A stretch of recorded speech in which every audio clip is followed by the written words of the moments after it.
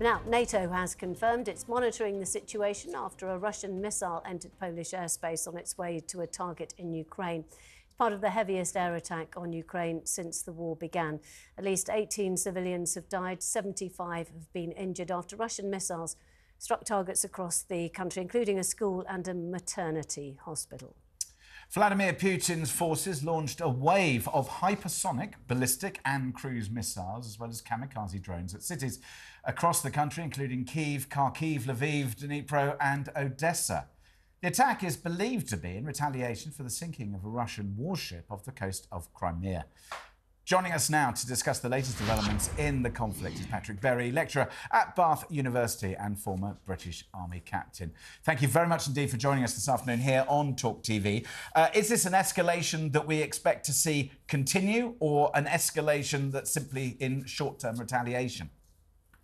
Good afternoon, Max. Thanks for having us on. Uh, I think that is the million dollar question, essentially. Russia has usually had to stockpile over a period of time enough, especially of its uh, hypersonic missiles and the Iskanders, the more capable and fast ones, uh, to be able to overwhelm Ukrainian air defense. Clearly, they've done this. There's been a fallow period over the last few months and limited number of attacks.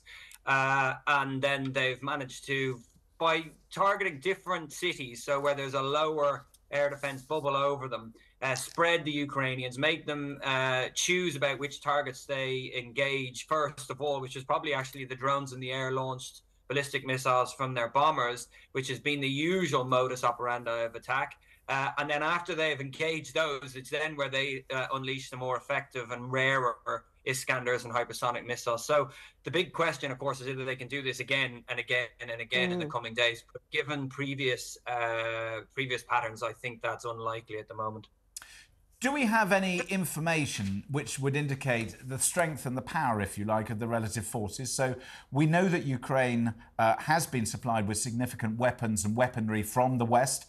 Whether or not that continues is up for debate. But we also know that the Russians have taken significant losses. So how can we assess as to the relative strengths and, and whether the campaign can continue, continue in its current form?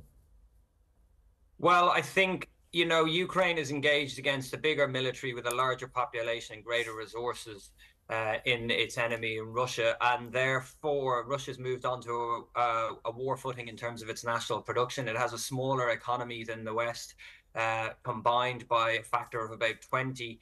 But because it's moved on to a war footing, it's able to increase its production, especially in artillery, and it can draw on a lot of manpower. So if it's left in, as the way it is without this $60 billion of aid coming from the US or the 50 billion euros from the EU, essentially Ukraine will not be able to sustain a, a conventional war and man those front lines and fight off uh, Russia in, in the way that it has been over the last couple of years. It would have to switch to an insurgency, essentially. Uh, let's look at, look at some of the places uh, that were attacked. So you've got uh, Kiev and Lviv in the west, and then you've got various places in the south, and uh, Kharkiv, of course, in the east. Kharkiv, uh, we've heard of a number of times before. But I wanted to talk about Lviv because that is actually quite far from the front line, and there are various reasons why that is being targeted, aren't there? Well, yeah, it's the it's the most western large city in Ukraine, and um, a very I've never been, but apparently a very beautiful place as well. But it has been targeted before. It was targeted in the first year of the war, then less so in the in the second. Uh, and there's obviously uh, in that area, um, shipments and supplies are moving around. But I think this is the, the, the message here is look at we we can hit any of these cities. We intentionally are actually hitting these cities to make you spread your air defense uh, mm. and to keep the pressure on, the political pressure on. There is some interesting context here as well, which happened over the last couple of, or the last week really, which was the first one is the Ukrainians received more Patriot and NASAMS batteries of air defense missiles, capable systems. And then in a few, in about a week later, they ambushed uh, three Russian, we think three Russian Su-34 bombers in the south. Basically, by moving those extra air defense systems out closer to the front lines, the Russians thought they were safe. They weren't. They got caught out. And then you had the air, we think, and again, an air launched attack on the uh, the, the landing ship in Feodosia mm. over to the east, uh, sorry, yeah, the east of Crimea. And both of those showed that actually Ukraine was having a bit of an, getting a bit of upper hand in the air defense and air capability area. So potentially the message here is you've got to protect all your cities because if you don't, this is what's going to happen, and therefore the Russians will have greater freedom of maneuver, their air force down in near the front lines. Now, there's no doubt that one can get war fatigue, and certainly in terms of coverage, uh, other things have been going on in the world. What happens, do you think, in 2024? Does this drag on?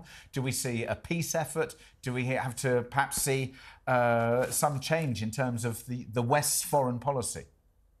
Tough call, yeah. And I'm not a clairvoyant. I hmm. think you've always got to distinguish between the political factors which could influence things really quite considerably. So, excusing any change in major change in politics in the West uh, and also in Russia, and a no collapse of either side's forces, I think were involved, uh, you know, in what will be a long war. Of course, this is predicated on there being continuing Western aid, which hopefully will still come.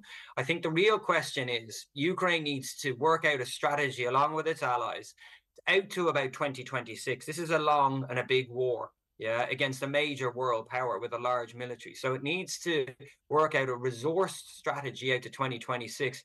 And their big question is whether they can afford to go on the defensive with, over 2024 to build up and husband their forces, train them up, and have another major go with uh, air support this time at a bigger scale to take back more of their territory. Probably not all of it in 2025. I think that's what the plan needs to be.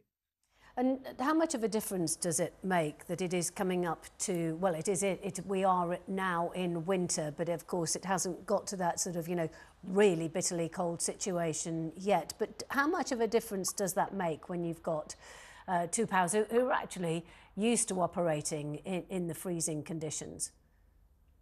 Yeah, they are, and, and they design their operations often around it. Uh, it has got cold in parts of Ukraine already uh, and then warmed up again. Uh, and in that period, of course, things slow down uh, often. It's just difficult to get logistics up. It's difficult to get casevac um, evacuating casualties out. Uh, and, and so things slow down, but they don't stop. That's generally the case. Sometimes, like the Russians have tried to as well, is take advantage of bad weather like blizzards, etc., when there's less drone coverage to launch surprise attacks. Uh, and they've been moderately successful in that, but they've also taken some heavy losses. Uh, but they are putting the pressure on outside Bakhmut on a town called Avdiivka, where the Ukrainians may have to withdraw. But as you said, Penny, like most sides are used to this at the, and, and are aware of the constraints that fighting in winter puts on their forces and, and sort of deal with it. Uh, but you know, to give you an idea, there's a, a basically a troop, or sorry, a, a mice infestation in both sides' lines uh, mice and rat infestation at the moment, apparently, which causes like diseases to the troops as well. Oh, I mean, let's face it, there's nothing nice about um, wars in any way, shape, or form. Thank you very much, Patrick, uh, for talking to us today.